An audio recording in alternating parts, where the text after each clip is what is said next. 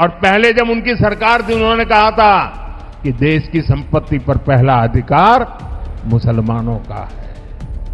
इसका मतलब ये संपत्ति इकट्ठी करके किसको बांटेंगे? जिनके ज़्यादा बच्चे हैं, उनको बांटेंगे। घुसपैठियों को बांटेंगे। क्या आपकी मेहनत की कमाई का पैसा घुसपैठियों को दिया जाएगा? आपको मंजूर है ये?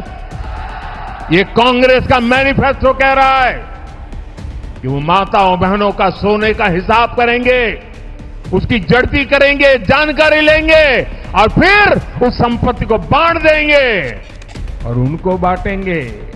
जिनको मनमोहन सिंह जी की सरकार ने कहा था कि संपत्ति पर पहला अधिकार मुसलमानों का है। भाइयों बहनों, ये अर्बन नक्सल की सोच मेरी माताओं, बहनों, ये आपका मंगल सूत्र भी बचने नहीं देंगे।